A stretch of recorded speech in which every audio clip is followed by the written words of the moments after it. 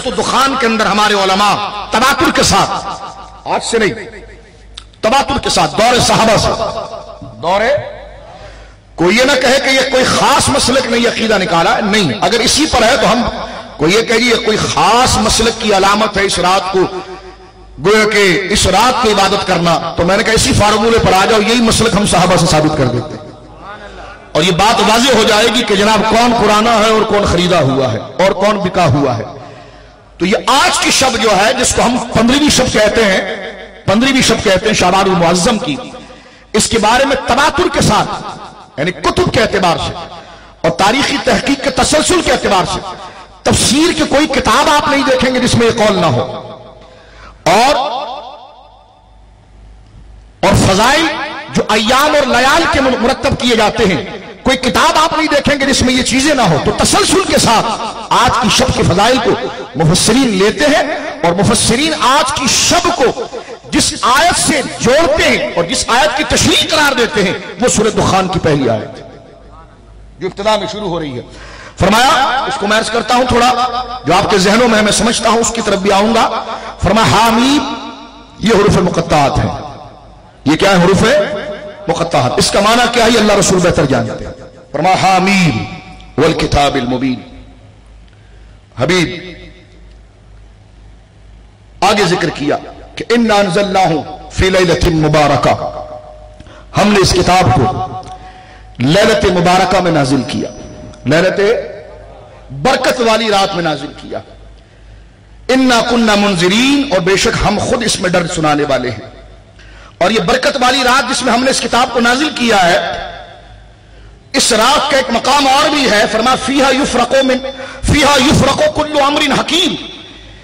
इस बरकत वाली रात का एक और बरकती पहलू यह है कि इसमें हर हिकमत के काम को लिख दिया जाता है और बयान कर दिए। तवज्जो आपकी? और हिकमत वाले काम लिख दिए जाते हैं, बयान कर दिए जाते हैं। तो फरमाया कि हर वो हिकमत वाले काम जो असल में लिखे गए हैं वो साल साल के एक फ़ाइल की सूरत में समझिए, फरिश्तों के हवाले कर दिए जाते हैं। और मुस्तफ़ा करीम सल्लल्लाहु अलैहि वसल्लम को यह नहीं कि लिख कर दिया जाता है तो हुजूर को खबर होती है। अल्लाह ने प्यारे मुस्तफ़ा के ज़िक्र को इतना बुलंद किया और अजमत को इतना बुलंद किया कि जो असल लॉ है, हुजूर वहीं से इल्म को हासिल करते हैं। अभी मेरा शरीफ के दिन गुजरे हैं। बुहारी शरीफ किताब सलाद की पहली हदीस है। हुजूर फरमाते हैं, जब मैं आसमान की तरफ़ चला तो मैं एक मकाम पर पहुँचा जो मकान मुस्तवा था। मैं वहाँ पर रुका और इन्नी अशरफ और शरीफ अकलाम मैंने वहाँ पर तकदीर के कलम चलने की आवाज़ को सुना है। फरमाते मैंने वहाँ पर तकदीर के कलम को चलने की आवाज़ बुखारी शरीफ में है। तकदीर के कलम को चलने की आवाज़ सुना है। अल्लाह आईनी की शरह उठाकर देखें आप। मैंने शब महराज में इसकी तशरी पेश की, लेकिन यहाँ पर तकदीर की बात आई है। तो ज़ात मुस्तफ़ा करीम सल्लल्लाहु की बारगाह में इस अजमत का गुलदस्ता पेश करना चाहूँगा इन हवालों के ज़रिए। अल्लामा महमूद, अल्लामा हुजूर सईद आईनी रहमान ने, जो बुखारी की सबसे मुसम शुरुआत में ज़िक्र की जाती है, आप इस हदीस के तहत लिखते हैं कि हजूर फरमाते हैं कि मैं मकाम मुस्तफ़ा पर पहुँचा और वहाँ पर मैंने तकदीर, यानी खुदा का जो तकदीरी कलम है, जो चल रहा था उसको मैंने देखा। तो कहा, उस कलम में क्या था? क्या देखा? क्या समझे? तो अल्लाह आईनी रहमा लिखते हैं, फरमाया, ये वो जगह है कि रब करीम ने तकदीर के कलम के ज़रिए कयामत के आखिर तक जो नस्ल पैदा होगी जो नौ पैदा होगी, जो नौ इंसानियत से हो, या किसी और अनवा से हो, चाहे जिन्स कोई भी हो, अनवा कोई भी हो, जिसको खुदा जीरू बनाकर भेजेगा, जिसके लिए तकदीर को मुतालिक करेगा, उससे मुतलिक अल्लाह ने जो सारे उमूर लिखे हैं, वही मुस्तफ़ा को सुनाए गए हैं। यही हुजूर ने फरमाया, शरीफ अलकला में मैंने तकदीर के कलम की आवाज़ को सुन लिया था। यकीन ना आए, अगर कोई इसका कीदा नहीं रखता मैं उसको कहता हूँ, मेरे दोस्त, अभी तू जा। और बुखारी किताब सलात उठा। और जो अल्फाज में पढ़ रहा हूँ, इसके तहत अल्लाह माइनी को पढ़कर देख। अल्लाह माइनी शाह फरमाते हैं कि ये ये वो मकाम है, यानी मकाम मुस्तबा जहाँ पर हुजूर पहुँचे। इरशाद फरमाते रब्बे करीम ने अपने बंदों के लिए कयामत तक जो जो फैसले किए हैं, जो जो तकदीर लिखी है, सब मुस्तफ़ा को बता दी गई। और अल्लाह माइनी फरमाते हैं, यहाँ सिवाय मुस्तफ़ा के कोई पहुँचा नहीं, ना कोई नबी पहुँचा, ना कोई फरिश्ता फरमा, फीहा युफरको, कुल्लु अमरिन हकीम कि उस दिन, इस रात को हम तकदीर को तकसीम करते हैं। यानी सरकार ने तो असल माखज को देखा है। ये तो उसकी समरी बनती है। ये तो उसकी समरी बनती है। जो असल माखज है, उसको मुस्तफ़ा मेराज रात देकर आए जिस पर उलमा के हवाले मौजूद है। अब ये जो फरमाया गया ना कि हमने कुरान को नाजिल किया। इन मुबारक, इन्ना कुन्ना मंजूरीन फरमाया, हमने लैला मुबारका में इसको नाजिल किया तो अक्सर मुफसरीन कहते हैं समुराद शब कदर है। अक्सर मुफसरीन क्या कहते हैं समुराद? शब कदर है। देखे, एक मसले पर उलमा की कई राय होती हैं, और कुरान की एक आयत मुख्तलिफ़ वजूह से साबित होती है। उसके जितने वजूह होते हैं वह तमाम हजत होते हैं। यह उसूल का कायदा है।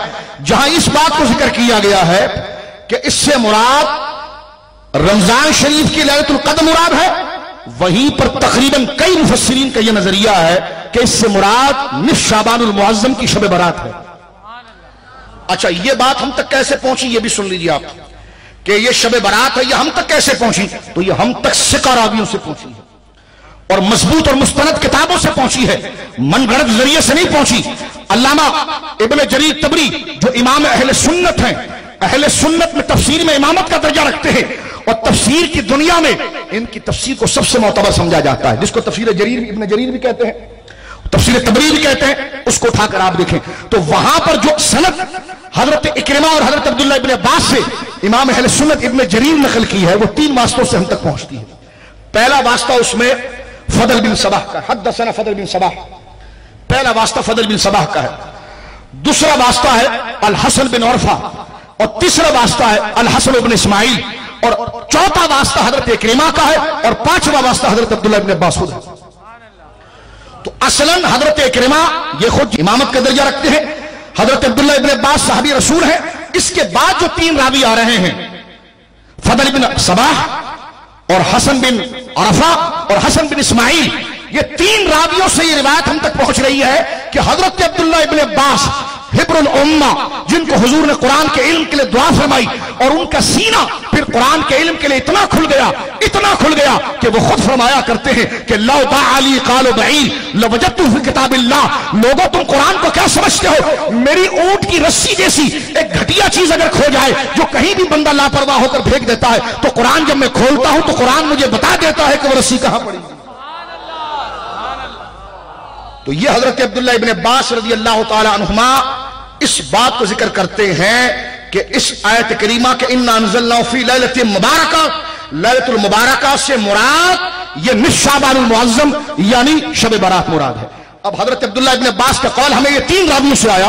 आप तकरीब तहजीब उठाकर देखें, जहाँ रावियों को खंगाला जाता है आप तहजीब तहजीब उठाकर देखें। इन तीनों किताबों के अंदर मैंने रावी के नाम आपके सामने लिए हैं। इन तीनों रावी को अगर आप देखेंगे तो इसकी शिकात इनकी मजबूती, उनकी दूसरी को ज़िक्र किया गया है। तो लिहाजा इस रात को, पंद्रह शाबान मुआजम की रात को, इस आयत से लेना यह सही सनत के साथ साबित है।